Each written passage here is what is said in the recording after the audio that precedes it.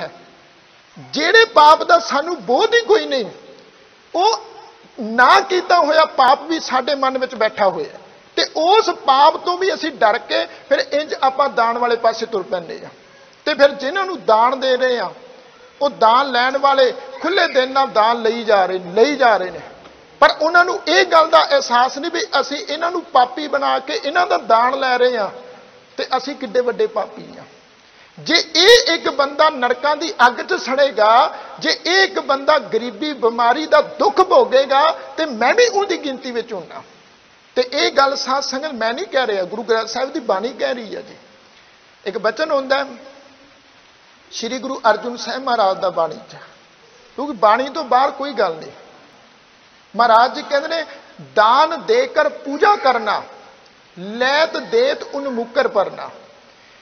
ਇੱਕ ਜਜਮਾਨ ਇੱਕ ਜਜਮਾਨ, ਇੱਕ ਧਰਮ ਮੁਖੀ ਨੂੰ। ਧਰਮ ਮੁਖੀ ਤੇ ਕੋਈ ਵੀ ਹੋ ਸਕਦਾ ਜੀ। ਗੁਰਦੁਆਰੇ ਦਾ ਗ੍ਰੰਥੀ ਸਿੰਘ ਵੀ ਹੋ ਸਕਦਾ, ਮੇਰੇ ਵਰਗਾ ਕਥਾਵਾਚਕ ਵੀ ਹੋ ਸਕਦਾ, ਇੱਕ ਮੰਦਰ ਦਾ ਪੁਜਾਰੀ ਵੀ ਹੋ ਸਕਦਾ, ਪੰਡਤ, ਇੱਕ ਮੌਲਵੀ ਵੀ ਹੋ ਸਕਦਾ, ਇੱਕ ਈਸਾਈ ਪਾਦਰੀ ਵੀ ਹੋ ਸਕਦਾ, ਕੋਈ ਵੀ ਹੋ ਸਕਦਾ ਜੀ। ਮਹਾਰਾਜ ਦੀ ਬਾਣੀ ਸਰਬ ਸਾਂਝੀ ਬਾਣੀ ਹੈ ਜੀ, ਸਾਰਿਆਂ ਨੂੰ ਮਹਾਰਾਜ ਦੀ ਬਾਣੀ ਟੱਚ ਕਰਨ ਵਾਲੀ। ਮਹਾਰਾਜ ਕਹਿੰਦੇ ਨੇ, ਇੱਕ ਧਰਮ ਮੁਖੀ ਆਪਣੇ ਜਜਮਾਨ ਕੋਲੋਂ ਦਾਨ ਲੈਂਦਾ ਹੈ। ਦਾਨ ਦੇ ਕੇ ਪੂਜਾ ਕਰਨਾ, ਉਹ ਜਜਮਾਨ ਜਿਹੜਾ ਫਿਰ ਦਾਨ ਦੇ ਕੇ ਪੂਜਾ ਕਰਦਾ ਹੈ। ਕਿਉਂ ਸੰਗਤ ਜੀ ਕਰਦੇ ਨਹੀਂ ਆਪਾਂ ਪੂਜਾ? ਗੁਰਦੁਆਰਿਆਂ 'ਚ ਅਖੰਡ ਪਾਠ ਰਖਾਇਆ ਜਾਂਦਾ ਹੈ। ਕੀ ਭੇਟਾ ਦਿੰਦੇ ਹੋ ਨਾ ਤੁਸੀਂ? ਬਈ ਇੱਥੇ 4100 ਰੁਪਏ ਵੀ ਇੱਥੇ 5100 ਰੁਪਏ ਭੇਟਾ। ਕਿਸੇ ਡੇਰੇ ਵਿੱਚ ਚਲੇ ਜਾਓ, ਉਹਨਾਂ ਨੇ ਆਪਣੀਆਂ ਭੇਟਾਵਾਂ ਬੰਨੀਆਂ ਜੀ 11000 ਲੱਗੇਗਾ। ਕੋਈ 15000 ਲੱਗੇਗਾ, ਕੋਈ 21000 ਤੇ ਕੋਈ 51000 ਵੀ ਲੈਂਦੇ ਜੀ ਕਿਉਂ? ਦਾਨ ਦੇ ਕੇ ਜਜਮਾਨ ਆਇਆ। ਬਈ ਖੰਡ ਪਾਠ ਰਖਾਉਣਾ ਕਿਉਂਕਿ ਉਹ ਜਿਹੜਾ ਪਾਪ ਦਾ ਸੰਕਲਪ ਸੀ ਨਾ ਧਰਮ ਮੁਖੀ ਨੇ ਮਨ ਵਿੱਚ ਇਹ ਗੱਲ ਬਿਠਾ ਦਿੱਤੀ ਵੀ ਇਹ ਪਾਪ ਦੀ ਨਿਵਰਤੀ ਕਰਾਉਣੀ ਪੈਣੀ। ਫਿਰ ਕੇਵਲ ਦਾਨ ਨਾਲ ਗੱਲ ਨਹੀਂ ਬੰਨੀ ਵੀ ਤੈਨੂੰ ਮੰਤਰ ਜਾਪ ਵੀ ਕਰਾਉਣਾ ਪੈਣਾ ਜੇ ਤੂੰ ਖੁਦ ਮੰਤਰ ਜਾਪ ਕਰ ਸਕਦਾ, ਠੀਕ ਹੈ।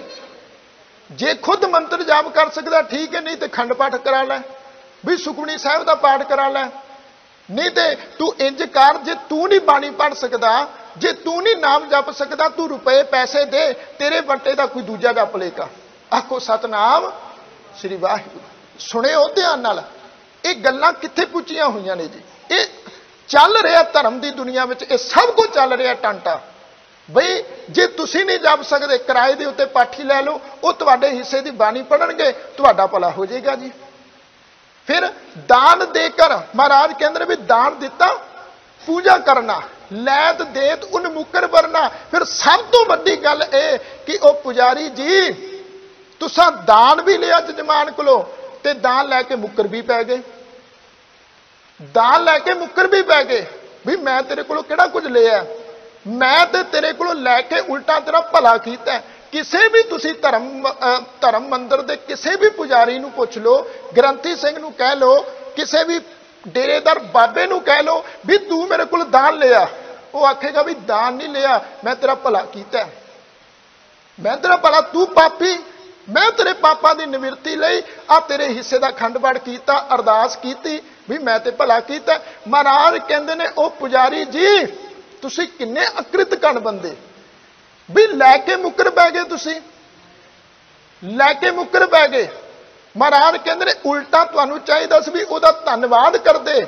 ਪਰ ਤੁਸੀਂ ਤੇ ਧੰਨਵਾਦ ਕਰਨ ਦੀ ਬਜਾਏ, ਸ਼ੁਕਰੀਆ ਕਰਨ ਦੀ ਬਜਾਏ ਮੁੱਕਰ ਹੀ ਪੈ ਗਏ। ਆਖੋ, ਸਤਨਾਮ ਸ੍ਰੀ ਵਾਹਿਗੁਰੂ। ਜਿਵੇਂ ਮਹਾਰਾਜ ਬਾਣੀ ਚ ਕਹਿੰਦੇ ਨੇ, ਕੇਤੇ ਲੈ ਲੈ, ਮੁੱਕਰ ਪਾਹੇ। ਵੀ ਕਈ ਐਸੇ ਨੇ, ਉਹ ਲੈ ਕੇ ਮੁੱਕਰ ਪੈ ਜਾਂਦੇ ਨੇ। ਰੱਬ ਦਾ ਦਿੱਤਾ ਲੈ ਕੇ ਕਈ ਮੁੱਕਰ ਪੈ ਗਏ। ਮਨਮੁਖ ਬੰਦੇ ਮਹਾਰਾਜ ਕਹਿੰਦੇ ਮੁੱਕਰ ਪੈ ਗਏ। ਤੇ ਇੱਥੇ ਧਰਮ ਦੀ ਦੁਨੀਆ 'ਚ ਧਰਮ ਦਾ ਚੋਲਾ ਪਹਿਨਣ ਵਾਲੇ, ਇਹ ਆਪਣੇ ਜਜਮਾਨਾਂ ਕੋਲੋਂ ਚੀਜ਼ਾਂ ਲੈ ਕੇ ਮੁੱਕਰ ਪਈ ਜਾਂਦੇ ਨੇ। ਫਿਰ ਅੱਗੇ ਸੁਣੋ, ਮਹਾਰਾਜ ਕਹਿੰਦੇ ਨੇ, ਜਿਤ ਦਰ ਤੁਮ ਹੈ ਬ੍ਰਾਹਮਣ ਜਾਣਾ, ਤਿਤ ਦਰ ਤੂੰ ਹੀ ਹੈ ਪਛਤਾਣਾ।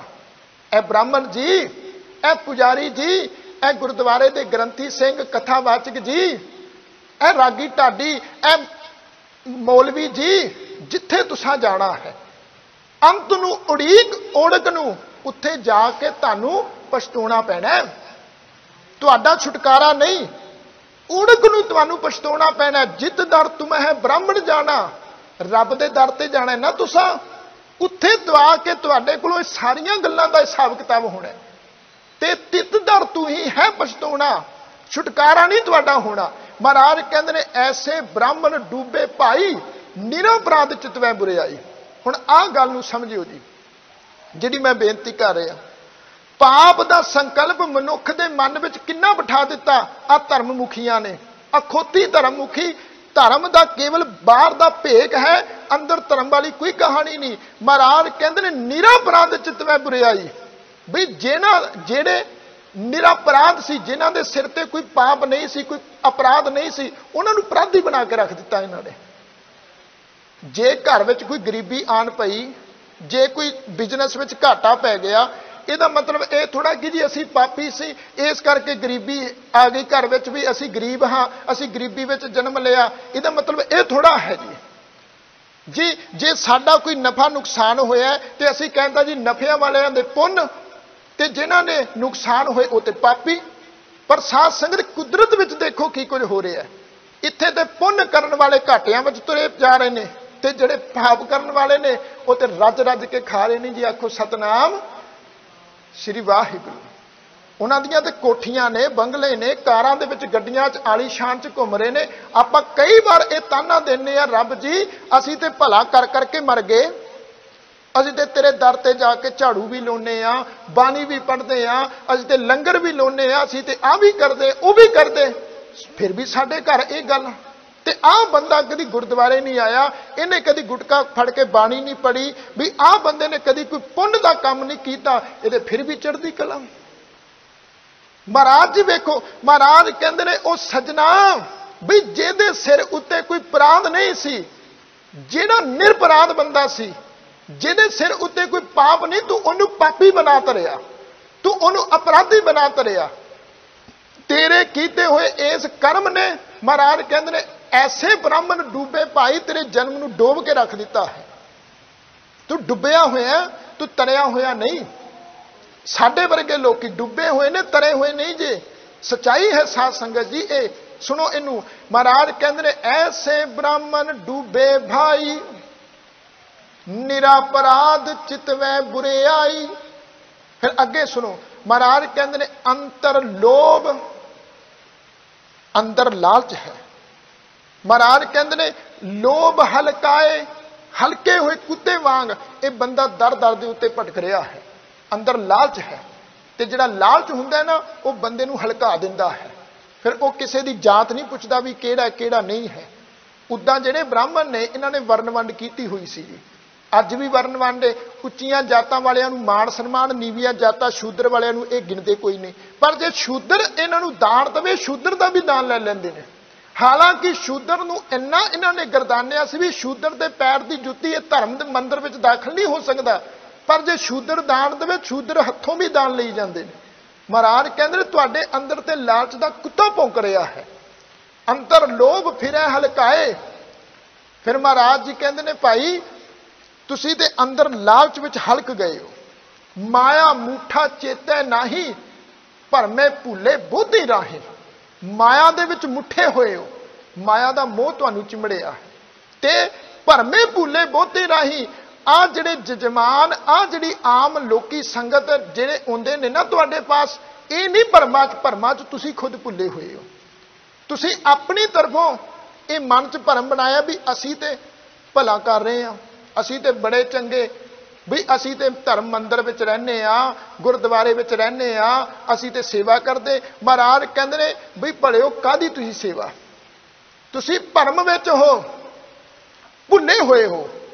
ਮਾਇਆ ਮੂਠਾ ਚੇਤੈ ਨਾਹੀ, ਭਰਮੇ ਭੁੱਲੇ ਬੋਧੀ ਰਾਹੀ। ਫਿਰ ਮਹਾਰਾਜ ਜੀ ਕਹਿੰਦੇ ਨੇ ਕਿ ਐ ਬ੍ਰਾਹਮਣ ਜੀ, ਅਵਰ ਉਪਦੇਸ਼ੈ ਆਪ ਨਾ ਬੂਝੈ। ਦੂਜਿਆਂ ਨੂੰ ਉਪਦੇਸ਼ ਤੇ ਆਪ ਉਹ ਉਪਦੇਸ਼ ਦੇ ਉੱਪਰ ਚੱਲਦੇ ਕੋਈ ਨਹੀਂ ਜੇ। ਮੇਰੇ ਵਰਗਾ ਤੁਹਾਨੂੰ ਉਪਦੇਸ਼ ਕਰ ਰਿਹਾ ਹੈ। ਤੇ ਆਪ ਉਸ ਉਪਦੇਸ਼ ਤੇ ਚੱਲੇ ਕੋਈ ਨਾ, ਕਿਵੇਂ ਗੱਲ ਬਣੇਗੀ ਜੀ? ਮਹਾਰਾਜ ਜੀ ਜਿਵੇਂ ਬਾਣੀ ਚ ਕਹਿੰਦੇ ਨੇ, ਅਵਰੇ ਕੋ ਉਪਦੇਸ਼ ਤੇ ਮੁਖ ਮੈਂ ਪਰ ਹੈ, ਰੇਤ ਰਾਸ ਬਿਰਾਨੀ ਰਾਖ ਤੇ ਖਾਇਆ ਘਰ ਕਾ ਖੇਤ। ਵੀ ਤੂੰ ਤੇ ਆਪਣੇ ਕੀਤੇ ਹੋਏ ਚੰਗੇ ਕਰਮਾਂ ਦੀ ਖੇਤੀ ਖਾ ਗਿਆ ਓਏ ਬੰਦਿਆ। ਤੂੰ ਦੂਜਿਆਂ ਨੂੰ ਉਪਦੇਸ਼ ਦੇ, ਨਾ ਮੂੰਹ ਦੇ ਵਿੱਚ ਤੇਰੇ ਖੁਦ ਰੇਤ ਪਈ ਹੋਈ ਹੈ। ਮਹਾਰਾਜ ਜੀ ਕਹਿੰਦੇ, ਇਹ ਬਾਣੀ ਦੀ ਇਹ ਗੱਲ ਹੈ, ਆਪਣੇ ਕੋਲੋਂ ਕੋਈ ਗੱਲ ਨਹੀਂ ਮੈਂ ਲਾ ਰਿਹਾ। ਮਹਾਰਾਜ ਕਹਿੰਦੇ ਨੇ ਵੀ, ਅਵਰ ਉਪਦੇਸ਼ੇ ਆਪ ਨਾ ਬੂਝੈ, ਐਸਾ ਬ੍ਰਾਹਮਣ ਕਹੀ ਨਾ ਸੀਜੈ। ਇਹੋ ਜਿਹਾ ਜਿਹੜਾ ਬ੍ਰਾਹਮਣ ਹੈ ਧਰਮ ਮੁਖੀ ਹੈ, ਧਰਮ ਦਾ ਉਪਦੇਸ਼ ਕਰਨ ਵਾਲਾ, ਇਹਨੂੰ ਕਿਤੇ ਜਗ੍ਹਾ ਨਹੀਂ ਜੇ ਮਿਲਦੀ। ਇਹ ਲੋਕਾਂ ਨੂੰ ਉਪਦੇਸ਼ ਤੇ ਆਪ ਖੂਹ ਦੇ ਵਿੱਚ ਡਿੱਗਿਆ ਫਿਰਦਾ ਹੈ।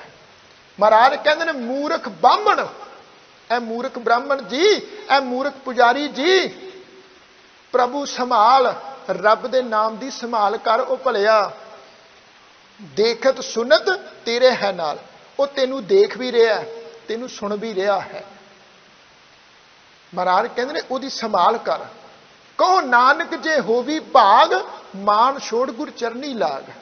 ਹੋ ਭਲਿਆ, ਜੇ ਤੇਰੇ ਵੱਡੇ ਭਾਗ ਜਾਗ ਗਏ ਨੇ ਨਾ, ਆਪਣੇ ਅੰਦਰ ਦਾ ਹੰਕਾਰ ਛੱਡ ਤੇ ਗੁਰੂ ਦੇ ਚਰਨਾਂ ਵਿੱਚ ਜੁੜ ਜਾ। ਆਖੋ, ਸਤਨਾਮ ਸ੍ਰੀ ਵਾਹਿਗੁਰੂ। ਇਹ ਪਾਪ ਦਾ ਸੰਕਲਪ ਬਣਾਇਆ ਹੋਇਆ ਹੈ, ਬ੍ਰਾਹਮਣਾਂ ਨੇ। ਸਾਰੀ ਇਹ ਖੇਡ ਚੱਲ ਰਹੀ ਜੀ। ਦਾਨ ਦੇ ਨਾਂ ਤੇ ਇੱਕ ਬਹੁਤ ਵੱਡਾ ਵਪਾਰ ਚੱਲ ਰਿਹਾ ਹੈ ਦੁਨੀਆ ਵਿੱਚ। ਬਹੁਤ ਵੱਡਾ। ਇਹਨੂੰ ਸਮਝੋ। ਦਾਨ ਦੇਣ ਤੋਂ ਪਹਿਲਾਂ ਦੇਖ ਲਓ ਸਾਧ ਸੰਗਤ ਜੀ, ਕਿਧਰੇ ਇਹ ਬੰਦਾ ਵਪਾਰੀ ਤਾਂ ਨਹੀਂ, ਜਿਹਨੂੰ ਮੈਂ ਦਾਨ ਦੇਣ ਲੱਗਾ, ਕਿਧਰੇ ਇਹਨੇ ਹਸਪੀਟਲ ਦੇ ਨਾਂ ਤੇ ਵਪਾਰ ਤਾਂ ਨਹੀਂ ਬਣਾਇਆ ਹੋਇਆ। ਕਿਧਰੇ ਇਹਨੇ ਗਰੀਬ ਬੱਚੀਆਂ ਦਾ ਆਨੰਦ ਕਰਜ਼ ਦੇ ਨਾਮ ਦੇ ਉੱਤੇ, ਆਨੰਦ ਕਾਰਜ ਦੇ ਨਾਂ ਤੇ ਵਪਾਰ ਤੇ ਨਹੀਂ ਬਣਾਇਆ। ਕਿਧਰੇ ਇਹ ਗਰੀਬ ਬੱਚਿਆਂ ਦਾ ਆਨੰਦ ਕਾਰਜ ਕਰਨ ਨੂੰ ਗੱਲ ਕਰਦਾ ਸਭ ਤੋਂ ਵੱਡਾ ਤੇ ਇਹ ਆਪ ਗਰੀਬ ਆ।